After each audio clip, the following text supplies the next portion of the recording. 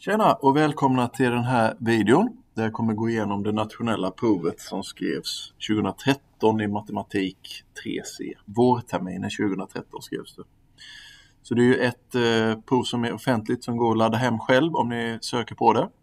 Så matte 3C VT 2013 är det vi ska jobba igenom idag. Del B. Man gör ju tre stycken delprov. Del B, del C och del D. Jag kommer göra allihop så att eh, se till att ni inte missar någonting.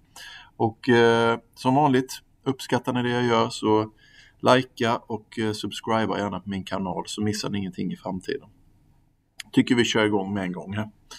Bestäm alla primitiva funktioner till funktionen f av x är lika med x i kvadrat. Så det är en potensfunktion och eh, det är viktigt att notera att det står alla där.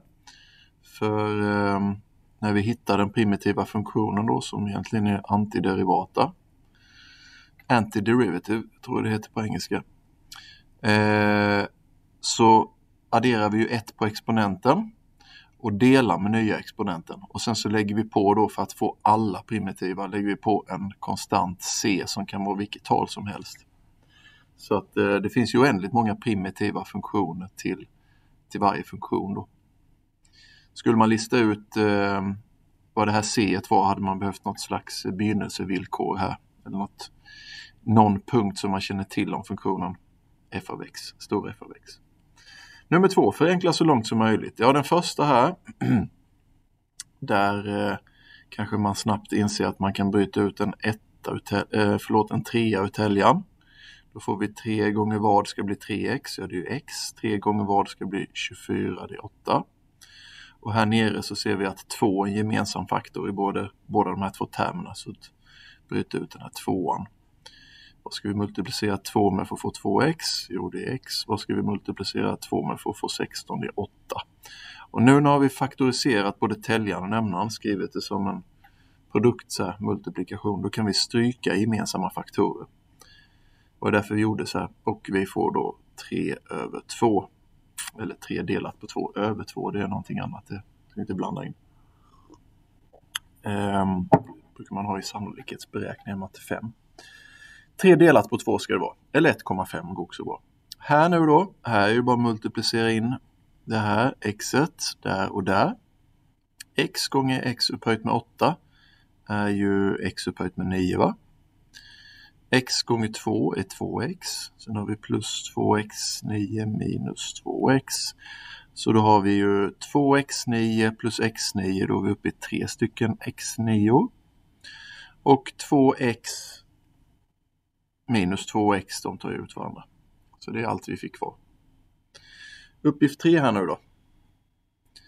Vilket av alternativen A till E är korrekt? Och då har ni massa grejer som handlar om absolutbelopp. Och eh, då är det så att tar man absolutbeloppet av eh, Alltså om innehållet i absolutbeloppet blir negativt så kommer det konvertera det till ett positivt värde. Det är det som ett absolutbelopp gör. Så om vi tittar på B här så ser vi att vi tar absolutbeloppet av ett negativt värde, då ska det konvertera det till det positiva. Så det är den enda som stämmer överens här. Alla andra stämmer inte.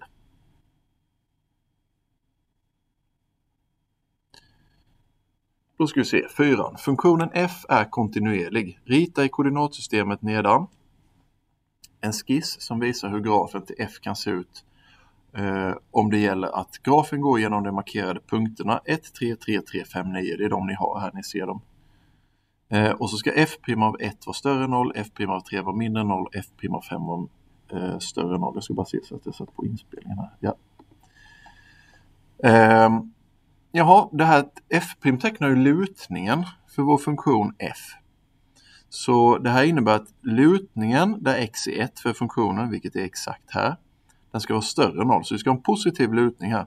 Så vi ritar någonting som har, oj, det ska inte vara en linjär, men det ska luta positivt där. Och där x är 3, det vill säga här, för vår funktion, så ska vi ha negativ lutning, så vi måste gå ner här. Och eh, där x är 5 så ska vi återigen ha en lutning som är större än 0, det vill säga positiv. Så att det måste luta uppåt där. Och sen så får vi skissa en funktion här då som uppfyller det här kravet. Så något i den stilen kanske. Får man ett e-poäng.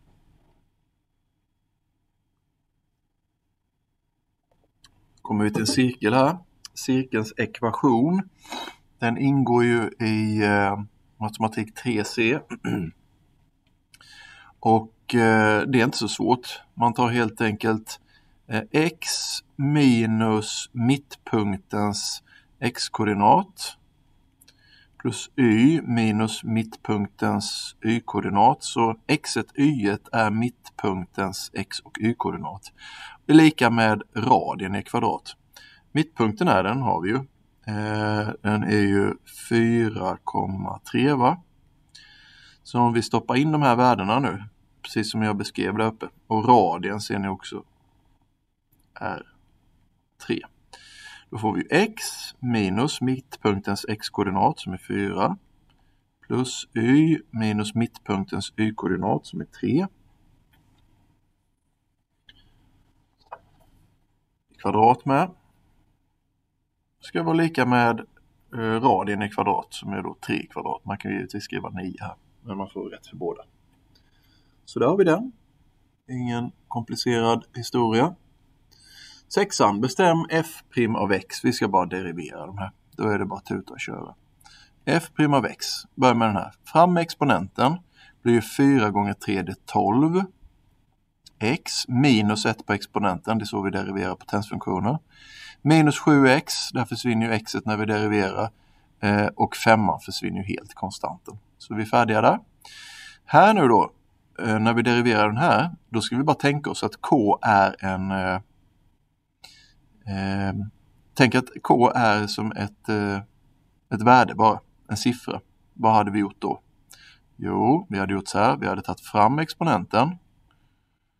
Och så hade vi tagit minus 1 på exponenten. Då blir det k minus 1. Och sen så, det här blir ju bara en konstant. Och de försvinner när vi deriverar. Så vi är färdiga här. Den sista här eh, är lite klurig. Där måste vi skriva om det här rationella uttrycket då genom att dela, alltså dela upp det här bråket i dess beståndsdelar kan man väl säga. Så vi delar båda termerna där i täljan med x, vilket blir x genom x är 1, 5x i kvadrat genom x, tar vi bort 1x upp och ner där så får vi bara eh, plus 5x. Och deriverar vi det här nu då, 1 plus 5x, så att det var ju det vi hade från början här borta, samma sak som 1 plus 5x. Och det här är mycket lättare att derivera då. Ettan försvinner, det är en konstant. Eh, femman blir kvar, xet försvinner. Så att, egentligen så är det så här, vi har en exponent 1 här, fram med den framför 1 gånger 5 och sen så blir det minus 1 på exponenten, det blir upphöjt med 0, men allt upphöjt med 0 blir 1. Så att, det är därför xet försvinner om ni har undrat det. Sjuan. Eh, nu ska vi se, nu har det försvunnit lite grann här men jag har ju löst dem här så det ska stå femma där och en trea där. Figuren visar grafen till funktionen f, eh, funktionen f. Bestäm ett närmevärde till integralen 0 till 5 fx dx minus integralen 0 till 3 fx dx. Och eh, då vet ni ju att eh, integralet tecknar ju area under grafen. Så den här första då är ju en area från 0 till 5. All area under här. Eh, men sen så ska vi ta bort arean från 0 till 3. En x-värde 3 va? Från 0 till 3. Så det här tecknar ju eh, Alltså, om vi ska göra en liten snygg kladd här. Om ni tittar på den första så kommer det vara, alltså den integralen tecknar ju arean under grafen från 0 till 5 minus, och det här tecknar ju arean från 0 till 3. Eh, och tar man de här minus varandra så får vi ju kvar då en, en area som är här borta. Är ni med på det? Och då ska vi ju räkna ut den här då ett närmevärde så det här kommer inte bli exakt men jag har tänkt så här att jag delar in den i en triangel för här är en typ en triangel här uppe och här har vi en rektangel. Och rektangelns area blir ju 2 gånger 3 och eh, så 2 gånger 3 plus triangelns area som är 2 gånger 2 genom 2. Stryka där så vi får 6 plus 2 är 8 areaenheter eller 8. Integralens värde blir 8. Så. Så den här uppgiften den är en jättebra uppgift. Eh, testar ju förståelsen att en integral tecknar en area. Så det här är två arior minus varandra och när vi inser vilka arior det är minus varandra så ser vi vilket område vi får kvar och eh, det är det jag har markerat i bilden. Sen har vi nummer 8. Funktionen f beskriver en växande vattenmelons vikt. y beror av tiden t, det vill säga y är lika med f av t. Vikten y anges i hekto och tiden t i veckor. Du får veta, vad får du veta genom att bestämma f' av 3? Ja, för det första så när vi deriverar så får vi ut en förändringshastighet. Om man vill veta enheten på den här för, alltså enheten på derivatan när uppgiften beskriver ett verkligt samband så är det extremt enkelt. I det här fallet, nu skriver jag, vi vet ju inte hur funktionen ser ut, men vi vet att det är någon funktion som beror på t. Och ut här vet vi att vi får hekto och variabeln här inne, den oberoende, vet vi att den mäts i veckor. Vill ni veta då vad f' av 3 kommer att ehm, eh, vad det kommer få för enhet derivatan så delar ni bara enheten på y, om vi kallar det här då, eh, den enheten man har på i vänsterledet av funktionen, delat på enheten som ni har på variabeln inuti funktionen. Och I det här fallet då så kommer ju det vara hekto per vecka. Och det är en förändringshastighet. Och när vi pratar om eh, förändringshastighet och derivata så är det ju i en punkt. Så det kommer ju vara hur den förändrar sin vikt per vecka i just en viss tidpunkt och den här tidpunkten är ju 3. Så utan att ha tittat på förslagen så borde ni nästan kunna att det här betyder då det är förändringshastigheten i hekto per eh, vecka som den här melonen har exakt vecka 3 då. Så eh, ni har den här vattenmelonens viktökning i hekto per vecka vid tiden 3 veckor. Så exakt där, vad, har den, vad växer den med för alltså masshastighet eller vad vi ska kalla det för. Så det kommer vara alternativ E här. Bläddrar bara lite bland mina blad här. Men E ska in där. Lodrätt 8. Vågrätt 8 hade passat bättre. Nia nu då. Ge exempel på en polynomfunktion f av fjärde graden för vilket det gäller att f av 1 är lika med 4. Så det här är inte så himla svåra egentligen. Okej. Okay. Eftersom det ska vara fjärde graden, börja med att... Och det finns ju, det står x upphöjt med 4 där. Nu är det av fjärde graden. Polynomfunktion. Och så kan man ju bara tänka så här. Mm -hmm. f av 1 ska bli 4. Vad blir f av 1 just nu? Jo, om vi tar och stoppar in en etta istället för x så får vi 1 upphöjt med 4. Vilket är samma sak som 1. Så när vi stoppar in 1 så får vi ut 1. Men vi vill stoppa in 1 och få ut 4 så vi saknar ju 3. Lägg på en 3 då. Titta nu. f av 1. Vi kan ju testa den. f av 1 lika med 1 upphöjt med 4 plus 3. Det här blir ju 1 plus 3, det blir 4. f av 1 blev 4. Yes, det var det vi ville. Klar, 1 C-poäng. B. B är lite knivigare. Det ser ni på poängfördelningen här också. Det är ett C och ett A-poäng. Det finns flera rationella uttryck som uppfyller följande villkor. Eh, rationellt uttryck, det är ju att det är eh, ett bråk helt enkelt bråktal. Någonting delat med någonting annat. Uttrycket får värdet 0 då x är lika med minus 1. Uttrycket är inte definierat för x är lika med 3. Uttrycket är inte definierat för x är lika med minus 4. Och så ska vi ge ett exempel på ett rationellt uttryck. Ett uttryck här, det var ingen funktion, som uppfyller alla de här tre villkoren. Um, då kan man ju tänka sig att uttrycket får värdet 0 då x är lika med minus 1. Om ett rationellt uttryck ska få värdet 0, det innebär att täljaren i princip måste bli 0. Så vi ska hitta på någonting när man stoppar in x är lika med minus 1 så blir täljaren 0. Jag tänker att det är lättast att bara göra så här. Om vi skriver då x eh, plus 1.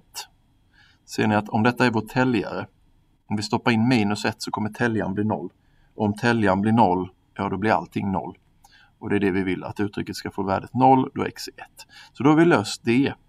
De här som handlar om när det inte är definierat, de är inte så svåra som man kan tro. Eh, det vi vill då, det är ju inte definierat om nämnaren blir 0 om vi stoppar in de här. Och hur ska vi fixa så att nämnaren, nämnaren, gud jag kan knappt prata. Nämnaren blir 0 när man stoppar in 3 respektive minus 4. Det lättaste är att skriva två stycken eh, faktorer här där de är x minus det här förbjudna värdet.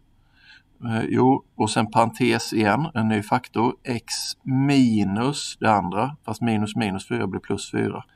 Varför funkar det alltid? Jo, titta nu vad som händer om vi stoppar in en 3 här nere. 3 minus 3, det blir 0. Och i och med att jag skrivit det som faktorer så räcker det att en av de här, för det blir inte 0 när jag stoppar in 3 plus 4, det blir 7, men det räcker att den ena faktorn blir 0 så blir hela nämnaren 0. Och blir hela nämnaren 0 så blir uttrycket eh, inte definierat. Likadant med den här då när vi stoppar in minus 4, givetvis i båda x-värdena, även den där uppe, så kommer den här faktorn bli 0. Eh, inte den, men den högra, vilket innebär att hela nämnaren blir, blir noll och eh, då blir det inte definierat för det värdet. Så där är ett exempel på en sån här, ett sånt här uttryck hade kunnat se ut. Då ska vi se vad vi ska hitta på i tian här. I en sjö planterar man in fiskar av en art som inte funnits där tidigare. Fiskpopulationen kan beskrivas med sambandet. En av t är lika med 15 000 genom 3 plus 2 e upphöjt till minus 0,5 t, där n är antalet fiskar och t är tiden i år efter man har planterat in de här. Hur många fiskar planterades in i sjön från början? Ja, hur lång tid har det gått om det är från början? Nu har det inte gått någon tid alls. Så vi kan väl se om vi kan räkna ut för hand en av ni Är ni med på det? Hur många de är från början? Ja, då har ju inte, har det inte gått någon tid så att vi stoppar bara in en nolla. Då får vi följande uttryck. Så, exponenten här kommer bli 0. Minus 0,5 gånger 0 är ju 0 och e upphöjt med 0 det blir 1, för allt upphöjt med 0 blir 1. Då får vi 2 gånger 1 är 2 och så har vi 3 plus 2 det är 5.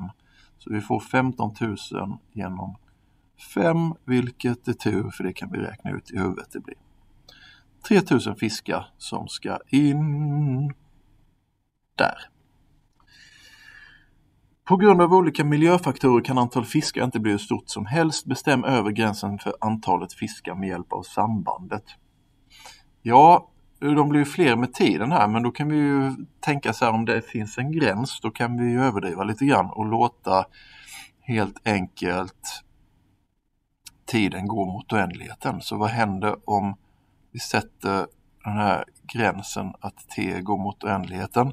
Kan vi då fundera på vad det här värdet kommer gå mot och jag kommer, alltså vad vår funktion närmar sig.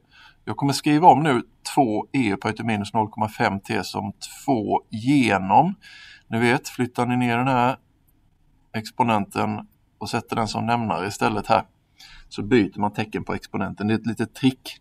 Jag orkar inte i alla mina videor förklara eh, egentligen vad det är som händer där men egentligen så förlänger man med exakt samma potens fast med positiv eh, exponent i det här fallet. Och eh, då blir det resultat 1 där i täljaren. Men i nämnaren så får man kvar den. Men det kan ni i alla fall lära er. Flyttar ni potens upp och ner så bara byt tecken på exponenten så är det en legit operation. Här nere får vi då E upphöjt med positiv 0,5 T. Och eh, varför skrev jag det på det här sättet? Jo, för att om vi börjar skriva upp, skruva upp T nu till ett väldigt stort tal, ja ett oändligt stort tal, så kan ni se att alltså det här talet i nämnaren kommer bli gigantiskt. Det finns ju inget stopp på hur stort det kan bli. Och två delat på ett gigantiskt tal som bara växer och växer och växer, det kommer göra att när t går mot oändligheten så kommer ju det här uttrycket att gå mot noll.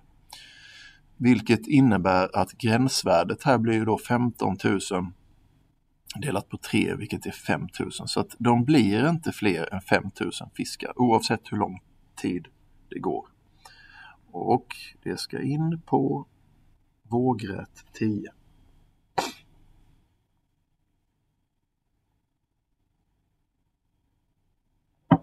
Tror banne mig vi är på sista uppgiften här. Det gick rätt så snabbt, stämmer det? Mm. Den är lite klurig, men den är bra. Funktionen f har en primitiv funktion stor F. Okay. Grafen till f visas i figuren nedan. Vilken av graferna AF visar en annan primitiv funktion till f? Um, så att det är den primitiva funktionen vi ser här. Eh, vi, vi, kan väl bara tänka så här. Vi, vi säger att vi har haft vår funktion f av x. Vad innebär det att hitta primitiv funktion? Jo, det innebär att jag menar, den här har haft ett utseende, vi vet inte hur den har sett ut. Och sen hittar vi primitiv. Om vi gör det algebraiskt utan villkor så vet ni att ni får en, en eh, konstant C här. Och det finns ju hur många primitiva funktioner till f av x som helst. Och vi har fått en till funktionen f och den är utritad här. Så den har haft ett specifikt värde på det här c.